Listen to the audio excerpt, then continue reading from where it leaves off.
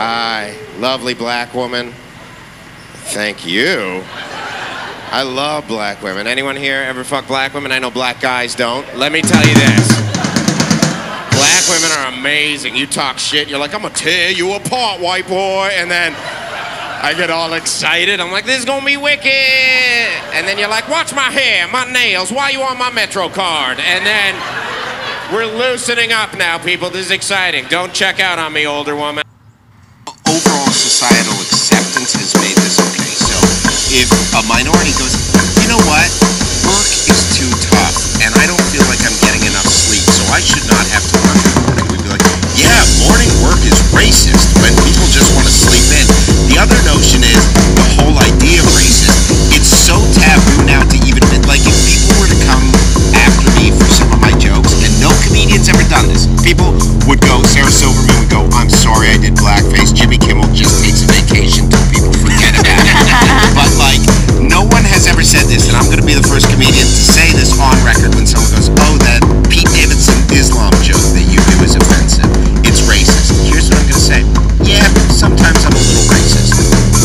said that. And I think it's a, how do you come back at that? How do you bounce back?